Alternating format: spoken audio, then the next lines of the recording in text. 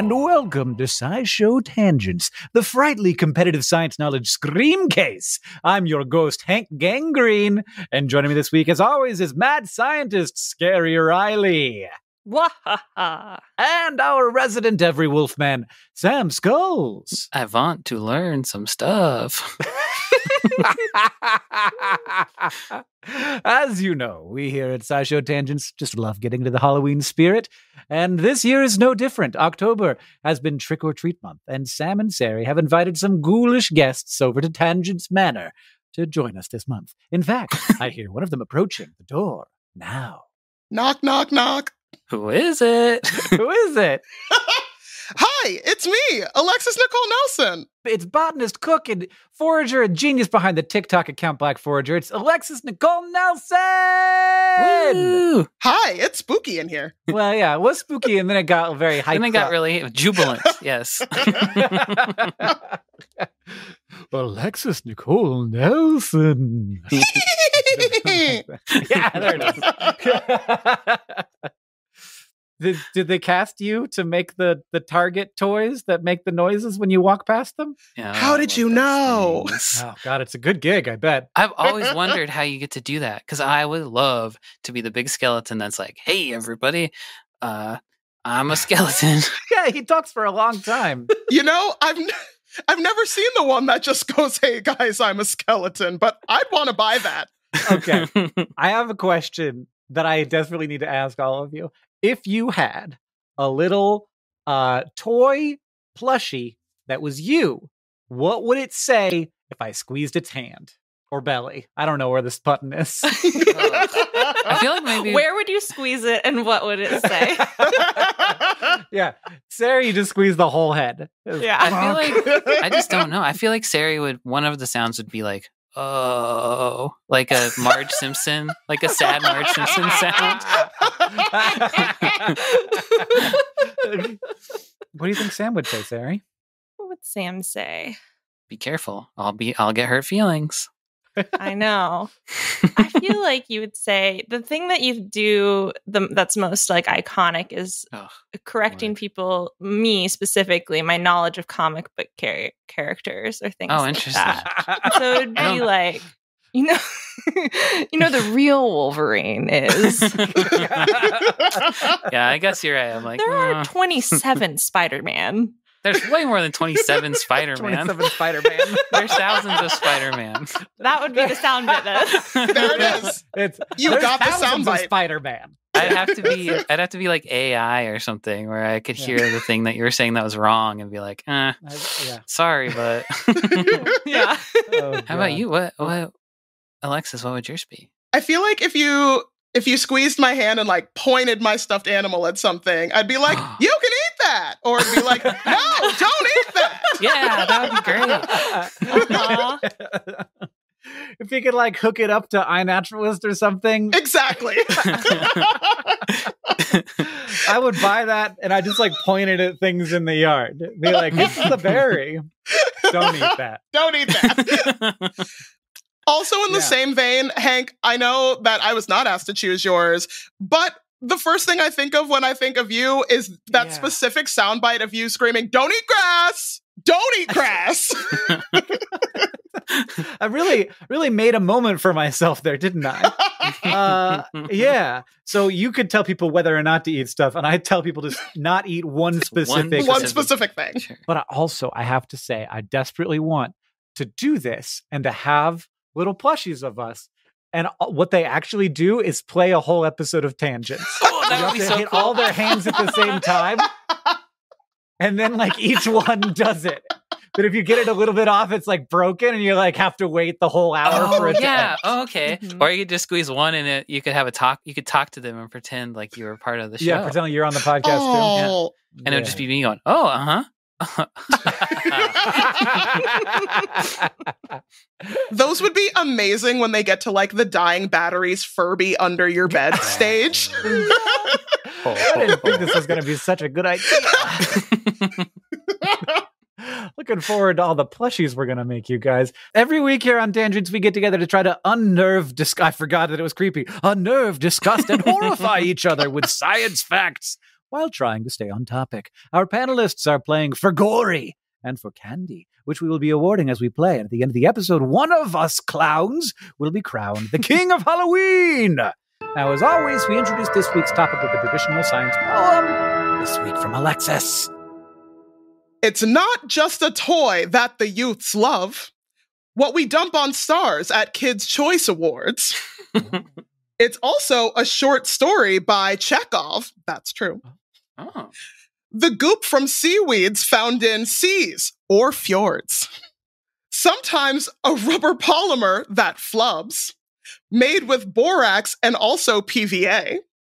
Sometimes it's left behind in trails by slugs to lessen friction as they crawl away. There's slime molds which aren't fungi but protists. They Oh. decompose things like a champ, you know. Mm. A lot of tasks this gloopy stuff permits. The fishies even wear it as a coat. You've likely figured it out by this time. My wibbly wobbly subject here is slime. Woo! There's so many facts in there. So many real, real sciencey things. Yeah. Yeah, hopefully you didn't ruin the whole rest of the episode. The I know. I, Yeah. That's a I did not run. think about that until Yeah. like 10 minutes I before. gonna check. I think we're the topic of the day is slime, which it definitely does not have a definition. Yeah, it's one there where I got to try my best. It's like it's like what you think of when you hear slime. When Yeah. you hear slime. Yeah. So, like Yeah. anything like viscous and watery and sticky Mm-hmm. and slippery, uh, the intersection of all those adjectives. Sometimes it's made by living things. So, like animals or plants or bacteria or protists or the decay of those things. So, when a living thing dies, then it kind of becomes slimy and goopy. But then also, there are synthetic slimes. Whether it's, I guess the the Nickelodeon slime is organic, isn't it? Like oat, oats and, and food dye I and stuff like that. You could say that, yeah. Yeah. Didn't. Um, Not naturally occurring, but sure.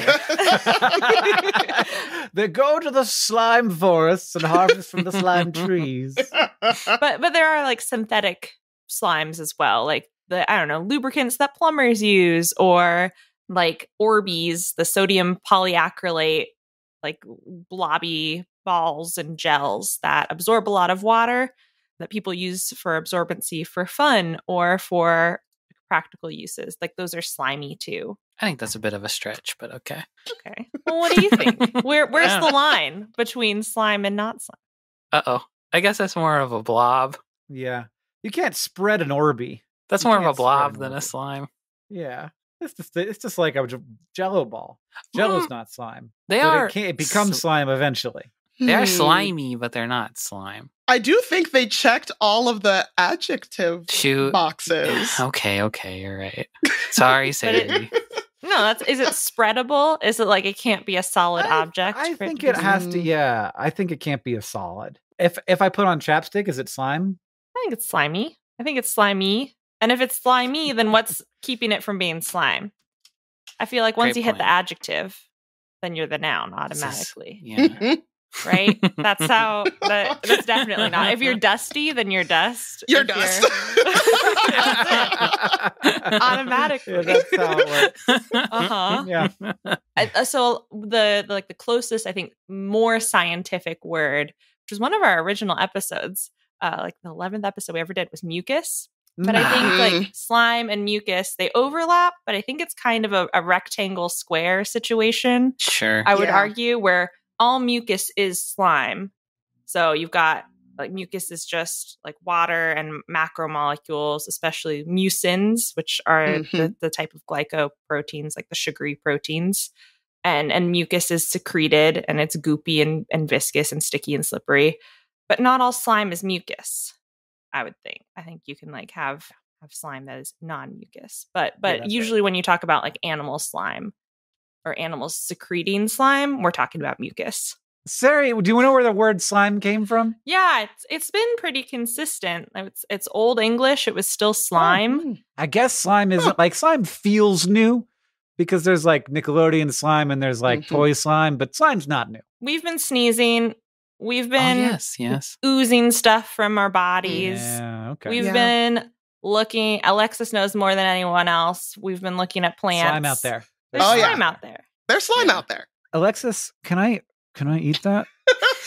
Which slime? There's some slimy plants that you can eat. The slime from dock stems, you can eat that. The Mm, slime okay. from aloe, you can eat that. Oh Yeah. yeah, That's right. definitely slime. Oh yeah. Yeah. Oh yeah. But like the goop in a jewelweed stem, don't eat that. Okay. So yeah, I think we had to figure out what how to talk about that stuff so that you could say, "Could you eat that? Could I eat this slime? Could I eat that slime?" So you needed a word for that. And I think it was slime, and it was like very related to nature. So the like, going back Hmm. slightly further, the Latin word is limus, which usually meant like mud or mire, and the Greek limni uh, meant marsh. And so, like goopy Okay. places Swamp were stuff. the origins of it, like swamp. Yeah, Yeah. swamps. Shrek, Yeah. Shrek and stuff. The Shrek. original source of slime. Shrek. Yeah. If you squeeze a I know- Shrek hard enough. Oh, for sure. Ceri knows one thing about swamps. Uh, Yeah. and that's where that's where Shrek That's comes Shrek from. lives. I learned that as a kid in my uh, Yeah. extracurricular activities. That's one. That's one way to call that time you had fun once. that was mean. I'm sorry. You're a very fun person. That's my little squeeze toy. I had fun one time. I had fun once. Uh, okay. We're, so I feel like we're well defined and we know what we're talking about, except that not really. But like, were we ever? No. Which means that it's time to move on to the t- quiz portion of our show. This week, we're going to be playing a little game called Truth or Fail. So slime is always inspiring us humans, whether we're playing with it in toy form or watching organisms make it in nature. And of course, the more we play with slime, the more we come up with more ways to use it in novel applications. Sometimes Mm. some very strange novel applications. The following are three stories of slime technology, but only one of them is true. And y'all have to figure out which one it is. So, story number one uh, one of the most pressing issues facing mankind is finding a way to make ice cream so that if it melts, it doesn't refreeze back into crystals. It Mm. refreezes back into ice cream instead. One ingredient that could help is okra slime. Scientists extracted the mucilaginous part of okra pods and added it to ice cream and found that it was able to serve as an ice cream stabilizer. But that might be a lie. It could be story number two. Hagfish are not particularly beautiful creatures, and their slime is super gross to look at and famously slimy. But scientists have been developing ways to convert that slime into something more beautiful, developing a process to dry out hagfish slime so that it solidifies. The structures within the slime crystallize and form synthetic gems that can be used to make hagfish slime jewelry. Whoa. That one might be hmm. a lie, and it could be this one. Maize in Oaxaca produces a mucus substance from their roots that makes them distinct from conventional corn. And scientists studying the role of this mucus substance in helping the corn grow found that it helps keep the roots actually warm. So they used that to create a lightweight insulation material that can be grown in fields. So is it the okra Hmm. ice cream, hagfish jewelry, or corn insulation? I was watching Alexis all the time for the plant ones to see if your if your Mm. face betrayed anything. I mean, mallows, of which okra is one, do be getting very slippy. You know, I always kind of thought that I just imagined that about okra. Like I, I thought I thought that like okra, I was like, okra feels very slimy to me, but people love it. They all love it. And so I'm like, I must be imagining this. Oh, I think okra's divisive. Oh, it's very divisive. And I feel like I can't, in good conscience, tell anybody to try it for the first time anywhere other than the South or in Mhm. the Yeah. kitchen of someone from the South. Yeah. Yeah, I was raised by an Alabaman. Oh, yeah. That'll do it. Alexis, Yeah. you said it was a mallow. Is it related to like marshmallow? Marshmallow? yeah. Yeah. They're in the same family, Malvaceae. Oh, wow. See, now now for a moment there you had me thinking that marshmallows came from plants, but marshmallows are a separate thing from marshmallows. Marshmallows are what the ancient Egyptians used to make the early predecessor to the confection now known as the marshmallow. Good. I, well, I'm just glad that marshmallows don't come from a plant. they kind of do. Maybe Well, they they kinda really do. They come from corn and sugar plants. Yes. Yeah. Now, instead of mallow goop and honey, it is egg whites and high fructose corn syrup. Yeah. yeah. I love them. I love them. They're good. But I So, feel the, like so okra is slimy. We agree. Mm-hmm. I feel like okra doesn't have a super. I might be wrong about this, but doesn't have a super overwhelming taste. So I could see this as being No. a good a good thing. like people, people, a person I know drinks okra water. Oh wow!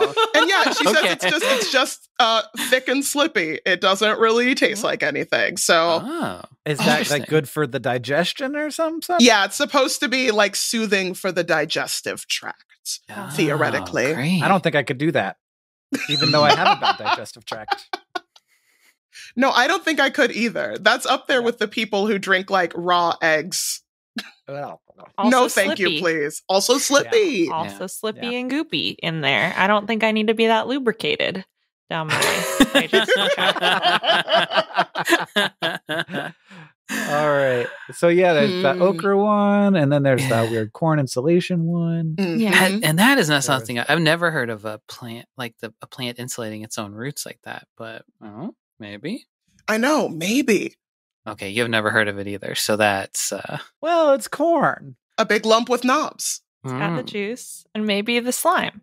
And maybe the slime. I feel like the hagfish, we're usually looking for like the strength of the hagfish slime. Like there's Sure. something about like how those Mhm. proteins polymerize and they get really long Yeah. and they're strong. And so like how how do we Spider also make silk, but from a fish. Yeah. Mhm. Yeah. And so like that's the thing. It took so much self control after you said long and strong to not say and trying to get the friction off.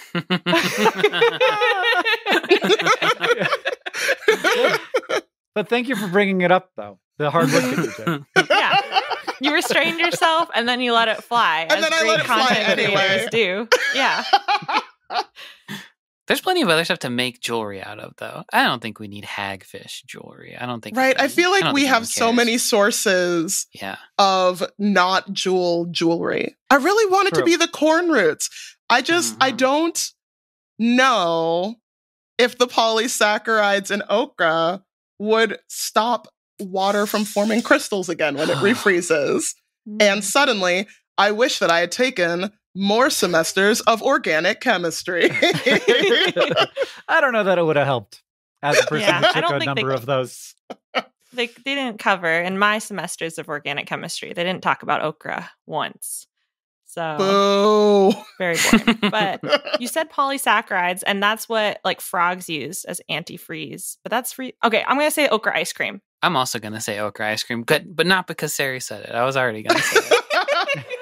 Oh my god, I'm so torn between the corn roots and the okra ice cream. Would corn need insulation in Oaxaca though? Would its roots need it? That's where it's from. Would it need to Hmm. develop that? That's I just really talked myself point. off the ledge. I'm also going okra slime. We have, I think, maybe for the first time in SciShow Tangents history, a three-way win. Yes. Yes. Woohoo! Mm, mm, mm, mm. So that tells us nothing. It's going to give us nothing. It's, it's all down to all down to the next one. And Ceri, I don't even know if there's a chance for Ceri to get points, but we're going to find out after we take our short break. And then Ceri will have another devious game for us.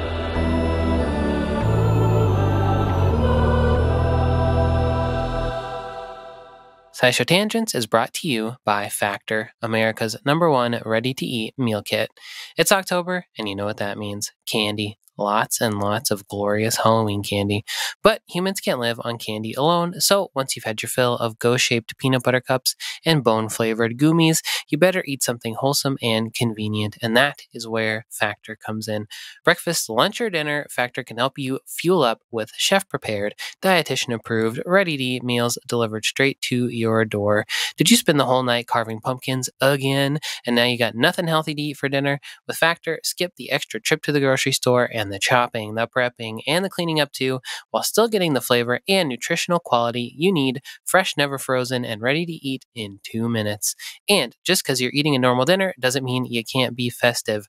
Relish the best of autumn with fall flavors. Factors limited time only, hearty, comforting meals featuring seasonal fruits and veggies like cranberry pecan chicken and apple Dijon pork chops. Need an extra boost as you head out trick or treating? Try Protein Plus meals with 30 grams of protein or more per serving.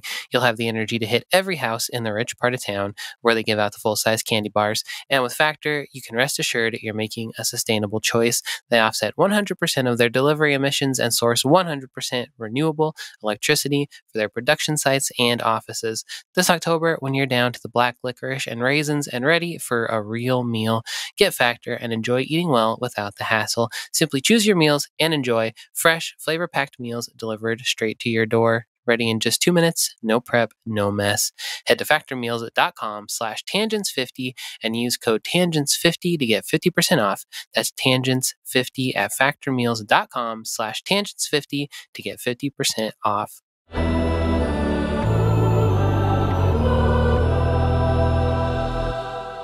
Welcome back, everybody. Ceri, what are we going to do now? Yeah, so today we are going to play a slightly modified game of this or that, where the rules are simple. I will describe a kind of slimy thing or slime related behavior, and you have to guess whether it's something that land creatures, sea creatures, or creatures in both biomes do. So land, sea, mm. or both. And if you get a question right, you get a point slash candy. I have four rounds total, so we can we'll keep the guesses snappy. So round one is when some creatures are surprised or threatened, it's slime time. And it turns out that some of this defensive mucus can generate bright blue bioluminescence on its own, rather than relying on glowing symbiotic bacteria. Scientists haven't figured out the exact biochemical reactions or light emitting proteins involved, but it seems like an iron storing and releasing protein called ferritin is a key part of it. Uh, and ferritin is produced by most living things because regulating iron is important to life. But in this kind of slime, ferritin basically acts as a molecular battery because when iron is added to the mucus, a persistent blue light is generated. So, is this blue glowing slime created on land, in the sea, or both? C, please. Yeah. I was also I, going to go see. I am too. I never seen the guy walking around glowing blue on the land. Things glow on the land sometimes. Are you all locked in? And see? Yeah. That's correct. Hey. Can I say why I answered so fast? Yeah. Because comb jellies do it when you jostle them in the seawater. Oh. oh. Interesting. So the it is it is a sea organism. The one that I was researching for this question um, was the marine parchment tube worm, which which also is very mucusy and and secretes a lot of things. Um, it constructs its tube out of mucus, and we studied its mucus. It glows blue, and it's like in the cells doesn't glow blue, but once it's shot out from its body and the the ferritin's doing its thing, it's blue. Huh. Very weird, but good, good, good. Uh, guessable questions are good. Okay, round two. We're going to be tied this whole game. Some animal parents leave their young to fend for themselves, while others are super self sacrificing, including letting their babies literally eat a slimy, fatty mucus or skin layer right off their backs until they're Mm. able to forage on their own. This extra goo obviously provides nutrition to the babies, but it also helps prime their immune system and gut microbiome to get ready to survive as an adult. So, is this eating your slimy parent behavior on land, in the sea, or both? I know I know who does this. Like I made a SciShow Yeah. episode about who does this. Yeah. Who I was just eats- watching a Oh. little TikTok I made about this.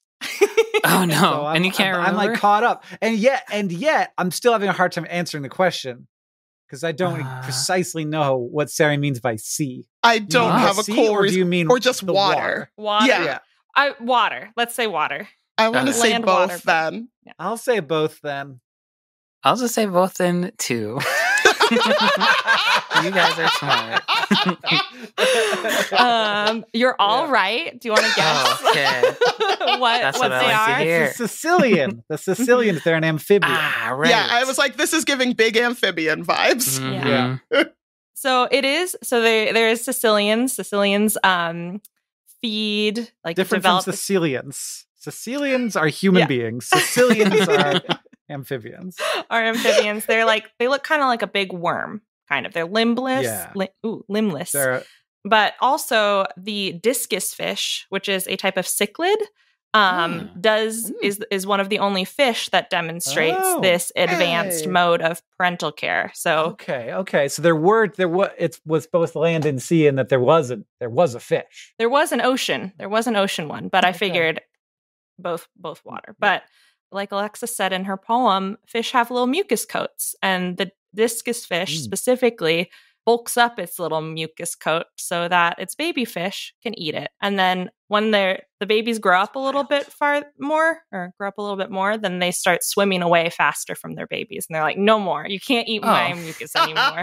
you gotta forage for yourself. Um, Which I think is very funny. They just decide Yeah, at some point. the right call for sure.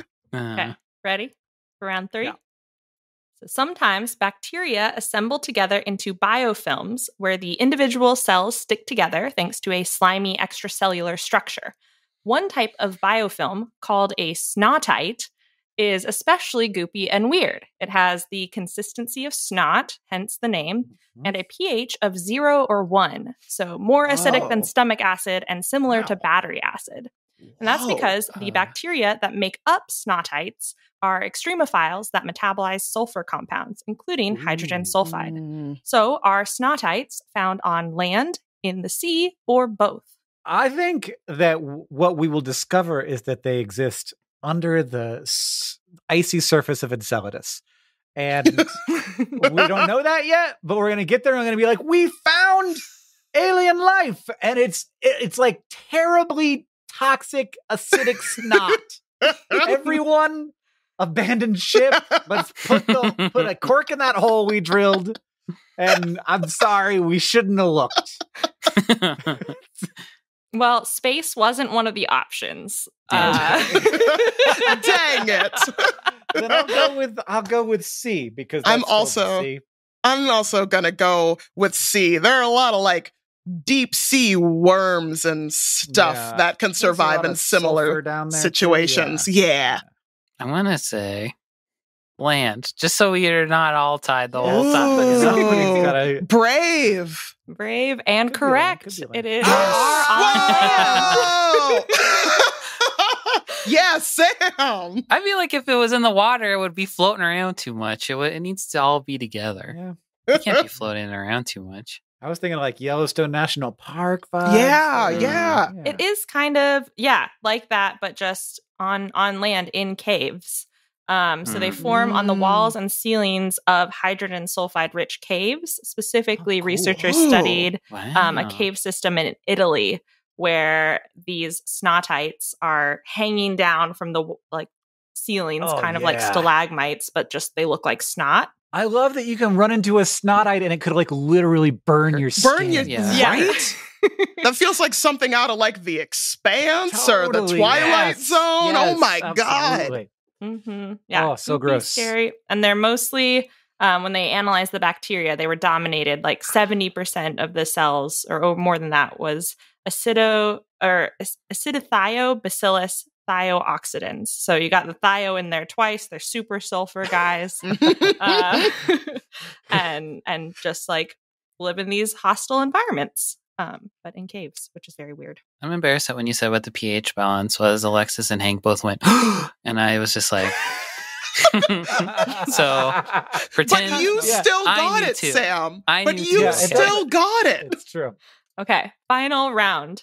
Uh, Sam uh, pulled ahead a little bit with the with the snot knowledge.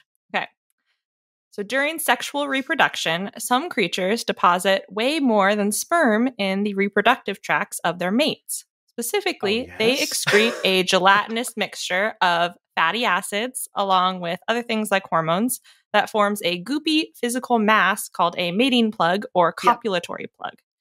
Researchers speculate that these slimy plugs could optimize sperm delivery and prevent any backflow. Uh, they could keep other males from adding their sperm to a vaginal pouch or canal or whatever, or provide important extra nutrients for reproduction. So, are mating plugs created on land, in the sea, or both? That feels like a both to me. That feels like you would convergently ev- uh, evolve toward Right. mating plugs uh, over and over again. Honestly, I bet it's evolved Mm. multiple times. That'd be my guess. I am leaning toward you know i'm just gonna say land maybe just to be contrarian but also i feel like that's not conducive to a water surrounded situation I was gonna say it sounds like something a fish would do. See, Ooh. that sounds like something a fish would do. so, the answer, Alexis is right. It's a land thing.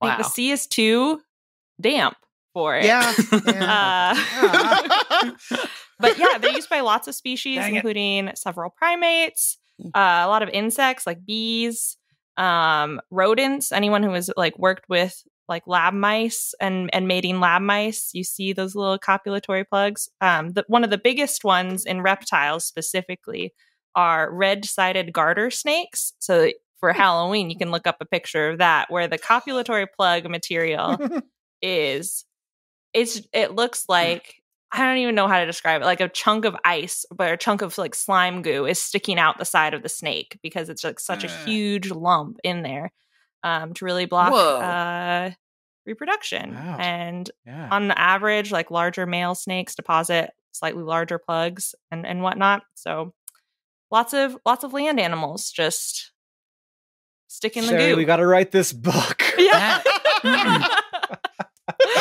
I'm ready. I've got my facts. This is my audition for you once again. Maybe Alexis can can do plant sex too, Mhm. which I'm sure is Mm, also very yeah. Uh, yes.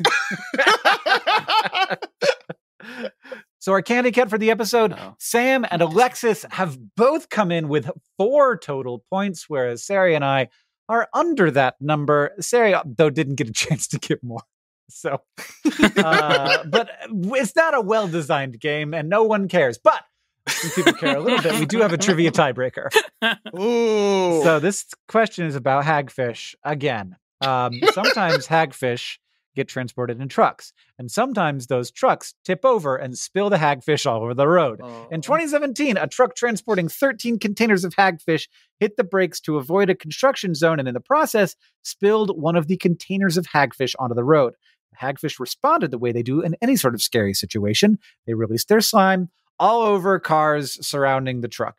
So, how many pounds of hagfish was that truck transporting? Oh, this is the kind of thing I'm the very worst at, is knowing how much stuff weighs.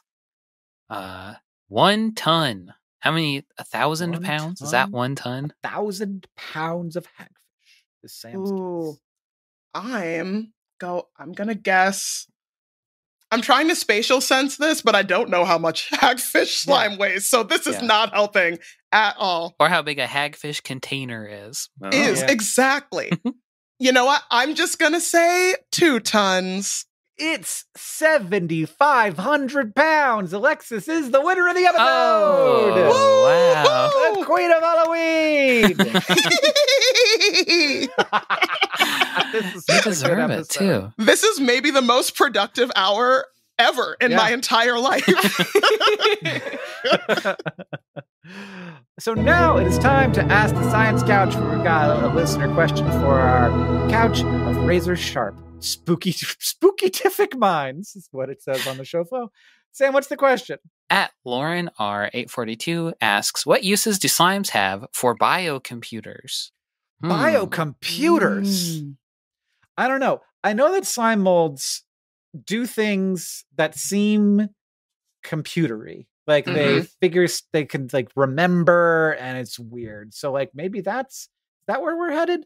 But I cuz I got nothing else on this topic. And they like use them to like find? There's that thing that I don't know if it's real or not, where they found like the fastest route to make like Yeah. a hypothetical Mhm. train system City. or something like that. yeah, Yeah. yeah. Yeah. Yeah, they had those slime molds that like made the little diagram that was really similar to the train system of Tokyo because Right. it was also primed for maximum efficiency. And I sometimes see TikToks about that and then the TikTok says and that's how we know that the universe has a brain. Oh my I'm like, God. That's Oh, not boy.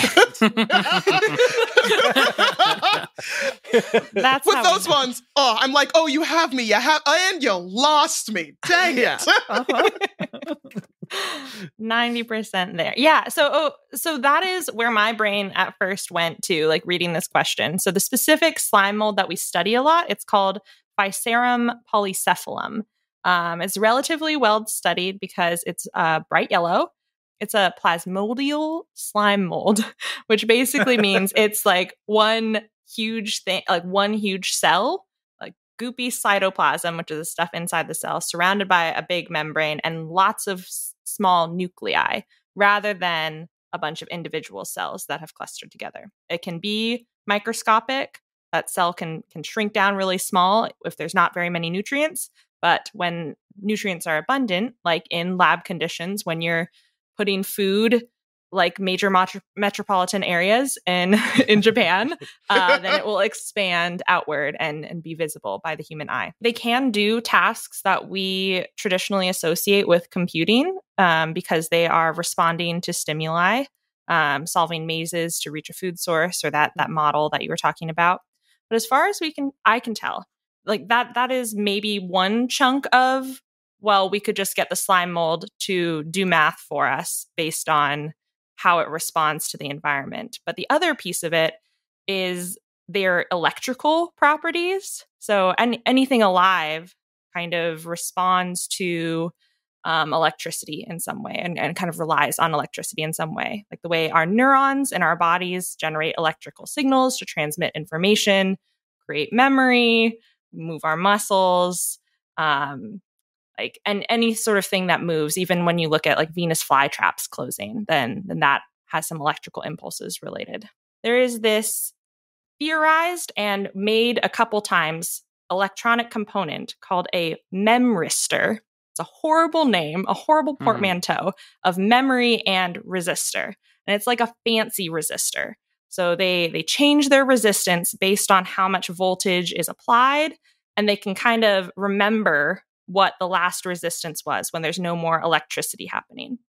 We've mostly understood them in relation to living things. So, like our sweaty skin kind of acts like a memristor, or slime molds, um, when they connect two points in a circuit, kind of act like a memristor rather than like a resistor.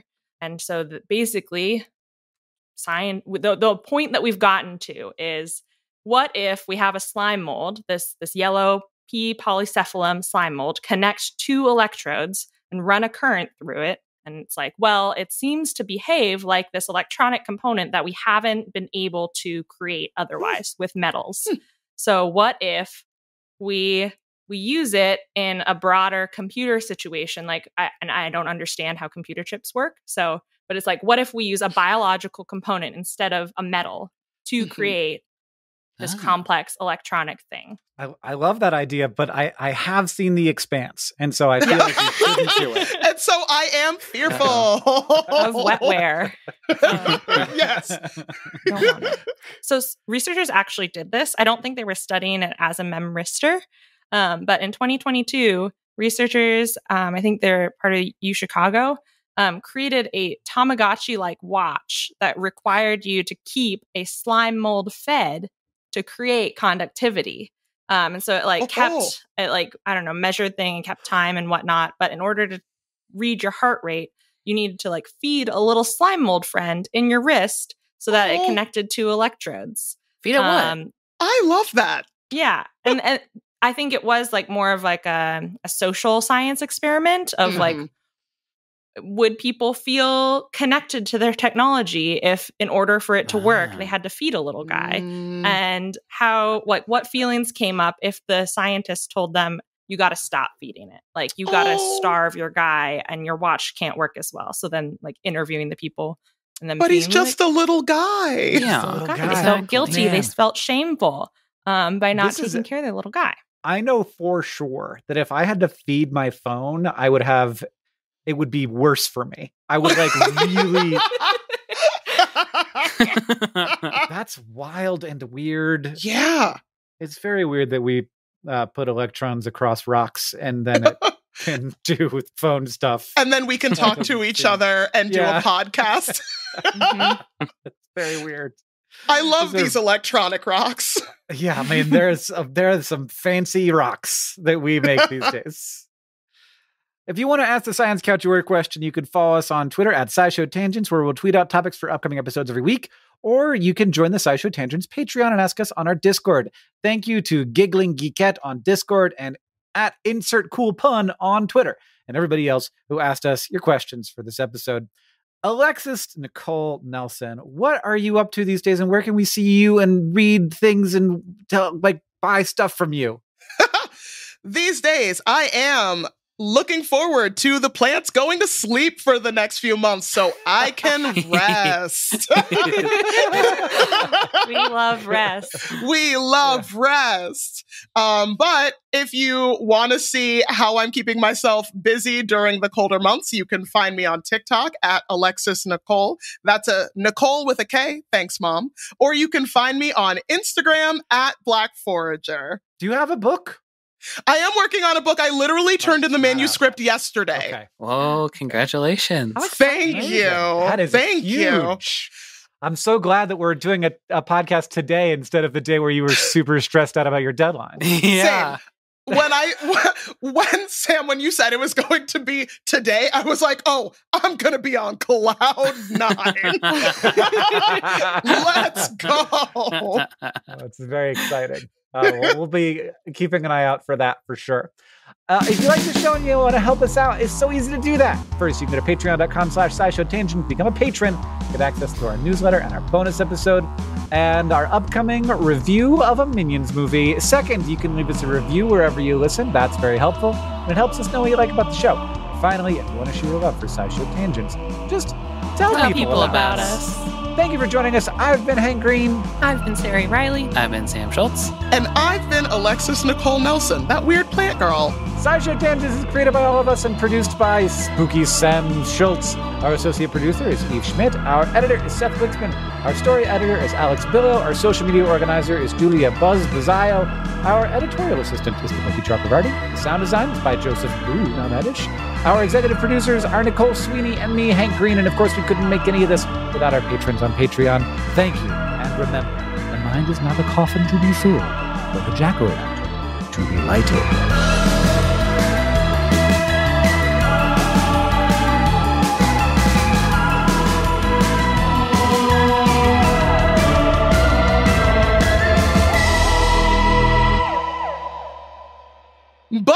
One more thing. Baby birds often stay in the nests where they hatched for a few weeks, and it would be unsanitary for them to spend all this time in a mucky pool of excrement. So, some species of baby birds produce slimy white fecal sacs, like a gusher or mochi or diaper, where the outside is a mucous membrane and the inside is poop. The parent birds can easily grab these fecal sacs with their beaks and dispose of them to keep the nest clean.